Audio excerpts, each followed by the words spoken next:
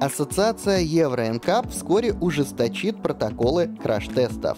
Так, впервые за 23 года испытаний будет внедрен новый деформируемый барьер для фронтальных столкновений.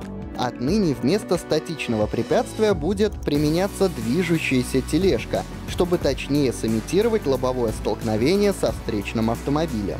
Новая методика позволит гораздо эффективнее определять, как деформация передней части автомобиля влияет на тяжесть травм, полученных пассажирами. Для этого теста вдобавок заявлен самый технологичный в мире манекен под названием Тор. Он будет имитировать мужчину среднего телосложения. Кроме того, Евро-НКАП переформатирует методику боковых краш-тестов. Теперь машины будут подвергать удару не только с левой, но и с правой стороны. Обновление методики позволит точнее оценить эффективность боковых подушек безопасности, а также понять, какие повреждения пассажиры могут нанести друг другу. Другими новшествами станут проверка автоторможения при проезде перекрестков, плюс тесты систем контроля за состоянием водителя.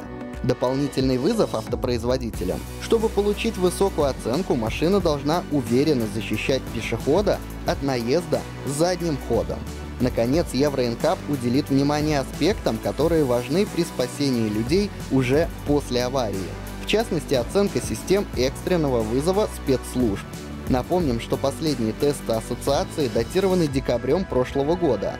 Следующая сессия ударных испытаний из-за эпидемии коронавируса отложена до сентября.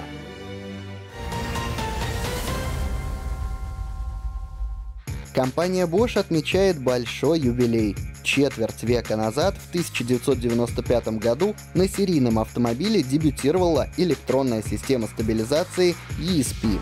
Впервые система появилась на представительском Мерседесе S-класса, но затем стала устанавливаться на все более доступные машины.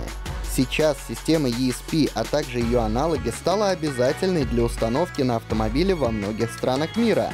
По данным компании Bosch, только 20% новых машин покидают конвейер без нее.